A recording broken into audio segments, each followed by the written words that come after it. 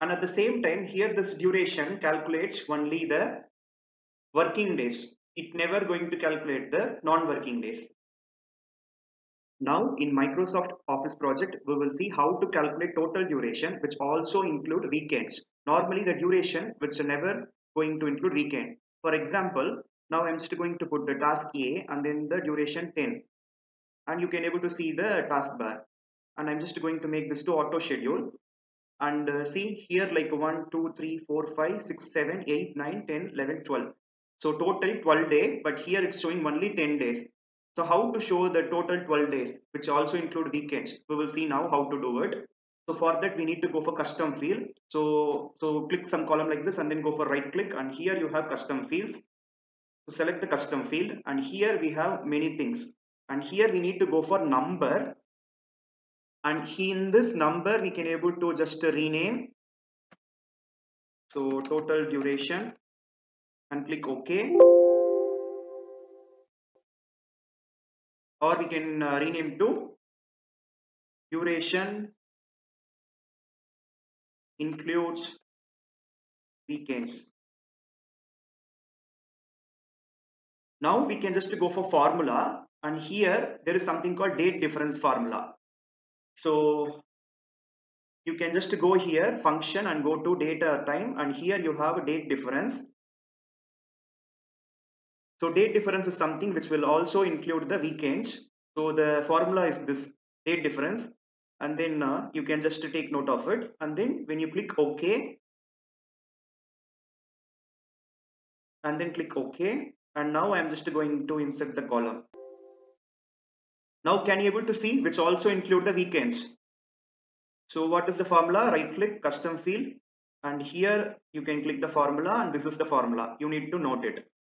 So here we have a D and then start finish and plus one. This is important.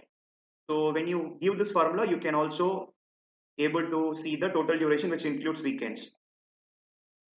Now I will try to put another uh, D activity which I will put 5 so this is coming error. Why? Because this is manually scheduled. When you put auto schedule, then we can able to see the duration.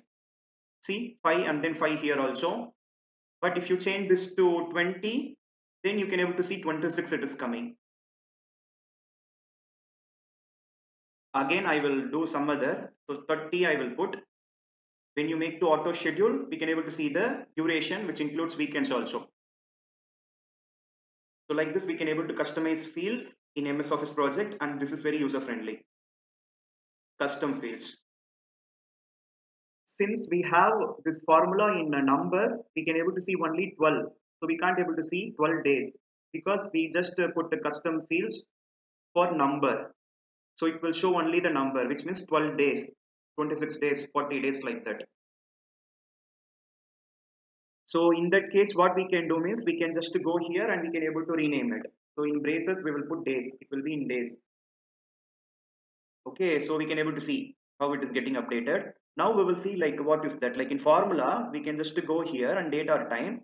This is like date difference and then interval, interval. That's why we put a D, which means like for days.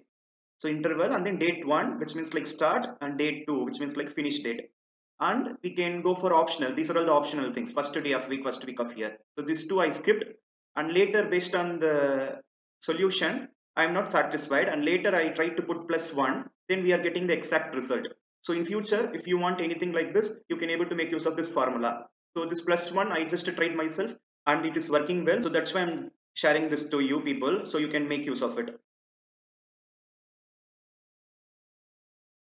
So in this, we will try to put a link and we will see the summary also. Now we will see the summary, project summary task. So like this and after uh, putting links, how it will be, we will see. So like this total duration 60 days, but here it's showing zero.